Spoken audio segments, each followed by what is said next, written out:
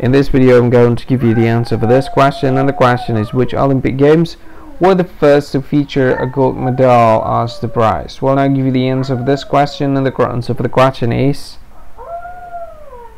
St. Louis Summer Olympics in 1904. Well that is the answer for the question.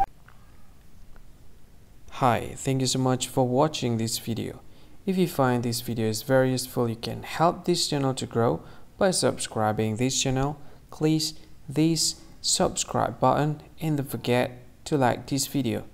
And if you find this video is not really good or you don't really like this video or you kind of feel that it's a little bit offensive or something like that you can click this one dislike button. You can do that anyway and if you want to share this video with your friend you can share it by clicking this share button and you can share it to any any social media that you wish that is currently available at this time like Facebook, Twitter, LinkedIn, and many others. Right? And if you want to add this video to your playlist, you can click this one. You can watch this video later and you can find more options by clicking these three dots.